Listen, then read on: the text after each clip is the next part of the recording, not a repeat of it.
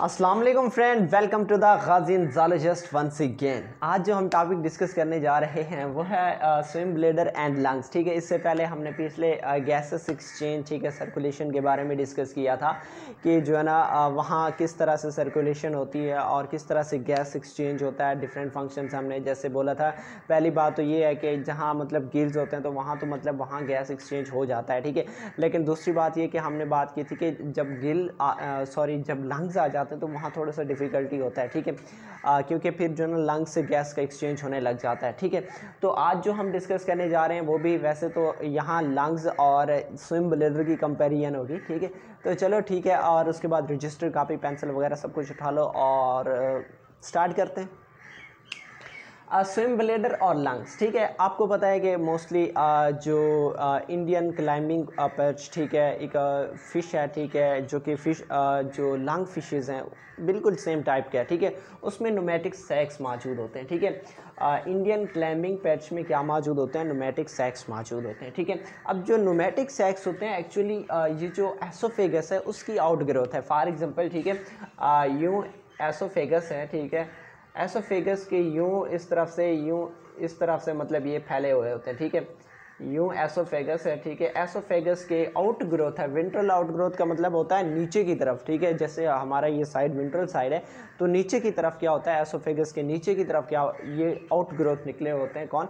नोमेटिक सैक्स ठीक है? तो उसके बाद अगर हम बात करें नॉन टेलियोट्स की या टेलियोट्स की बात करें तो चंद टेलियोट्स में ये होता है कि उनमें जो नोमेटिक सैक होता है, ठीक है वो किसकी मदद से एसोफेगस के साथ कनेक्ट होता है, ठीक है वो इधर नोमेटिक डक्ट होता है, ठीक है नोमेटिक डक्ट होता है, उस नोमेटिक डक्ट की मदद से, ठीक है नोमेटिक सैक नोमेटिक डक्ट्स की मदद से किसके साथ कनेक्टेड होता है एसोफेगस के साथ कनेक्टेड होता है, ये बात क्लियर है। उसके बाद चाहे इंडियन क्लाइंबिंग पर्च हो या लंग फिशेज हों या एंशियंट रेफिडेस्ट्रियंस हो, ठीक है? इन सब में क्या पाया जाता है? नोमेटिक सेक्स होता है और वो किसके तौर पर काम करता है? लंग्स के तौर पर काम करता है, ठीक है? They act as sorry it act as a lung ठीक है? किसमें? इंडियन क्लाइंबिंग पिच ठीक है? लंग फिशेज और रेफिडेस्टियंस इन सब में वो किसके तौर पर काम करते हैं? लंग के तौर पर काम करते हैं। लेकिन अगर हम बात करें बोनीफिशर्स की तो उसमें जो नोमेटिक सैक हैं वो किसके तौर पर काम करते हैं?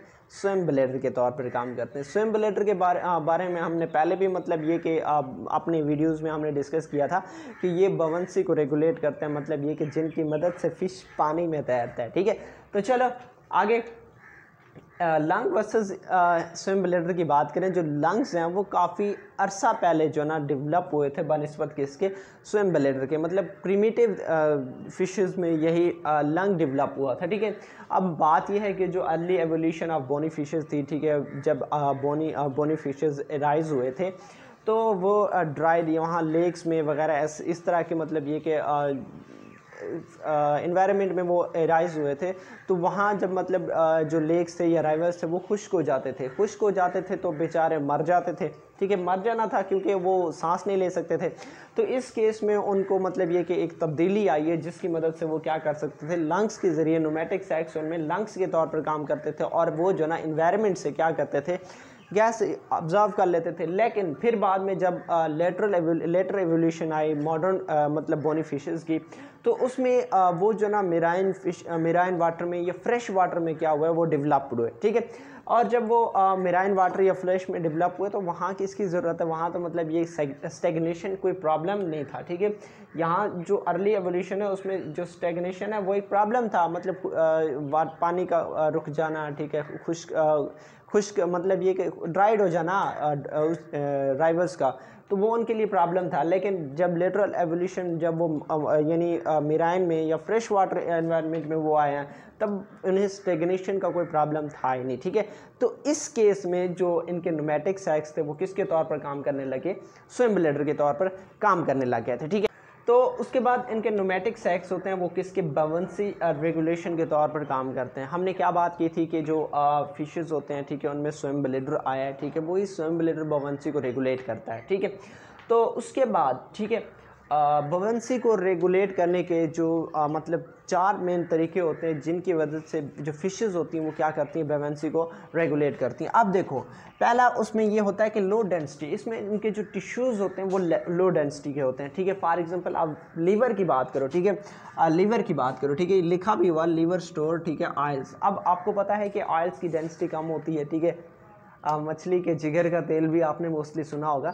तो उनमें इनकी जो डेंसिटी होती है, ठीक है, आयल की डेंसिटी वाटर से लो होती है, जिसकी मदद से वो क्या होता है कि वो आयल पानी के ऊपर तैरता है, ठीक है, ये तो पता है ना? तो वो आयल जो उसके जिगर में मौजूद है, वो फ़िश को ऊपर ऊपर लाने में क्या करता है कि हेल्पफुल होता है, ठीक है?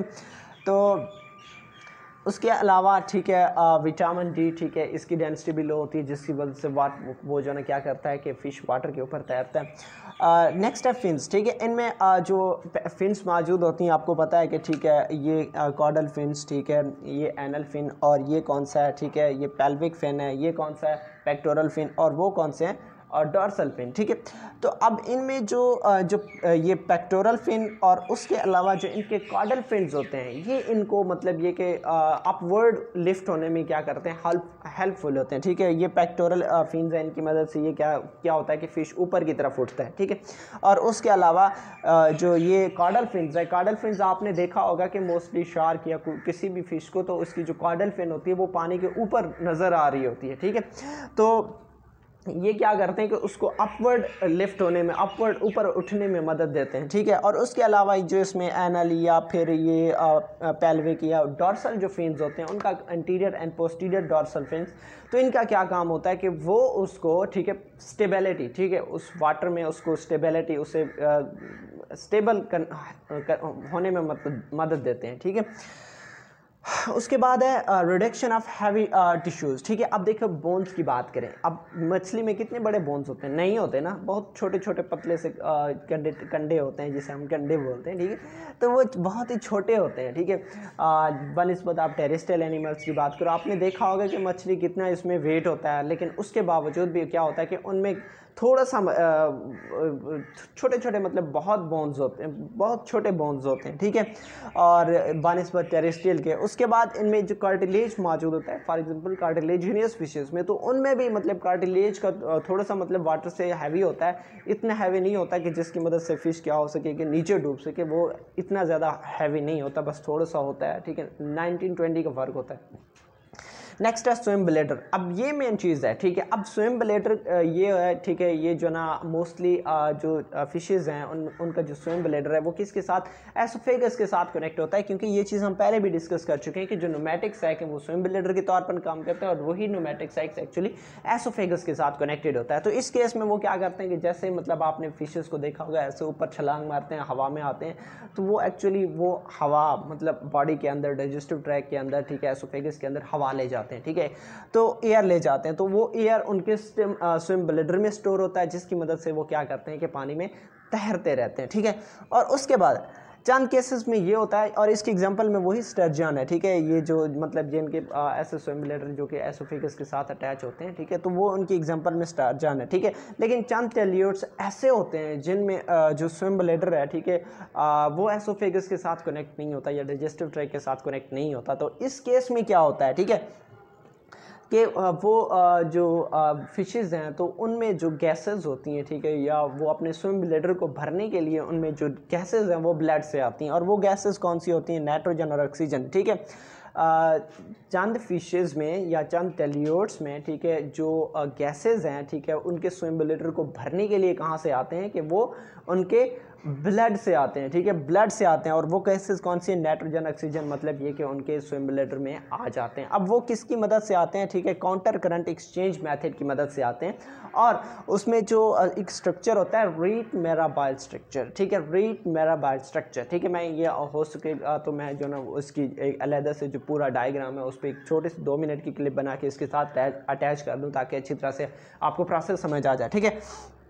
तो रीड मेरा बाइल उस स्विम ब्लेडर के साथ कनेक्ट होता है और दूसरी तरफ़ वो किसके साथ? ब्लड वेसल के साथ कनेक्ट होता है। मैं कोशिश करता हूँ, ठीक है? ये देखें ये क्या है? फॉर एग्ज़ाम्पल ये ब्लड वेसल है, ठीक है? और ये इस तरह से इसका ये फॉर एग्ज़ाम्पल ठीक है? ये इसका ऐसे स्विम ब्लेडर है, ये थोड़ा सा अजीब बन गया तो चलो, दोबारा ट्राई करते हैं। तो ये जो है ना, इस तरह से इसका ये स्विम ब्लेडर है, ठीक है? तो इस साइड पे छोटा सा जो है ना ठीक है, दो पार्ट है। तो अब ये जो ये स्विम ब्लेडर है, ठीक है ठीक है, ये swim bladder actually rete mirabile type का स्ट्रक्चर होता है, वो उसकी मदद से किसके साथ कनेक्ट होता है? ब्लड वेसल्स के साथ कनेक्टेड कनेक्टेड होता है, ठीक है। और ये ब्लड ये जो रीट मेराबाइल है फर्दर ये आगे जाके ये लीवर के साथ कनेक्ट होता है, ठीक है। ब्लड वेसल है स्विम ब्लेडर है ये आपस में किसकी मदद से कनेक्टेड होते हैं? रीट मेराबाइल के ज़रिए, जो कि जिसकी मदद से गैसेस क्या होती हैं? इस स्विम ब्लेडर के अंदर आती हैं, ठीक है? लिख भी देता हूँ नाइट्रोजन और ऑक्सीजन ठीक है? और ये जो रीट मेराबाइल है फर्दर ये किसके साथ कनेक्टेड होता है? लीवर के साथ कनेक्टेड होता है, ठीक है? तो इसकी मदद से क्या करते हैं कि ये पानी के ऊपर तैरते रहते हैं। लेकिन, अब लाजमी तो नहीं है कि ये हर वक्त तैरते रहें। ठीक है? तो जब मतलब ये कि वो दोबारा जब पानी के अंदर गोता लगाते हैं तो तब केस में क्या होता है कि इनके जो स्विम ब्लेडर है, उसकी इस साइड पे ओवेल टाइप का स्ट्रक्चर मौजूद होता है, ठीक है? क्या मौजूद होता है इस तरह का, ठीक है, ओवेल स्ट्रक्चर मौजूद होता है, उस वही ओवेल एक्चुअली ठीक है, इनके जो ब्लड वेसल्स हैं, वो उन गैसेस को दोबारा ब्लड वेसल में क्या करता है ट्रांसफ़र करता है, ठीक है।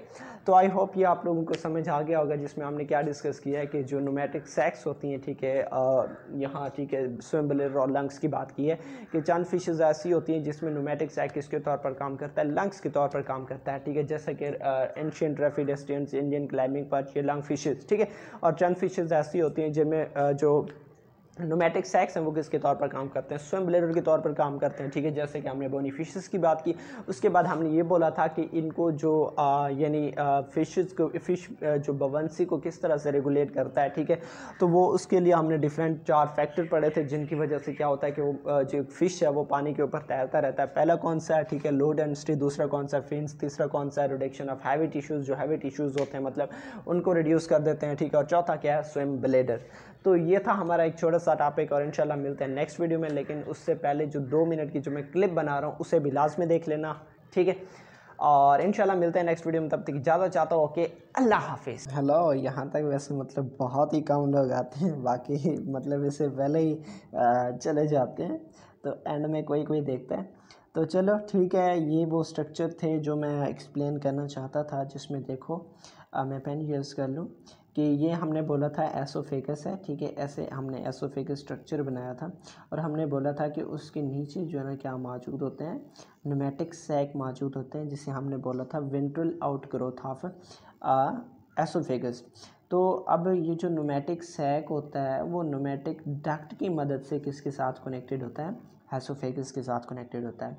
अब यहाँ उन्होंने लिखा हुआ है जो टेट्रापोड्स हैं, उनमें जो न्यूमेटिक सैक्स हैं वो किसमें डेवलप हो जाते हैं? लंग्स में डेवलप हो जाते हैं, ठीक है? क्योंकि मैं टाइम वेस्ट नहीं करना चाहता, आप लोगों का जल्दी जल्दी थोड़ा सा एक्सप्लेन कर देता हूँ, ठीक है? उसके बाद ये देखो, ये वो स्वयं ब्लेडर है, ठीक है? इस स्वयं ब्लेडर के साथ, ठीक है, ऊपर देखें, ये ब्लड वेसल है, ठीक है? ये जो ये जा रही है ये क्या है? डॉर्सल अयोल्टा ब्लड वेसल है ठीक है?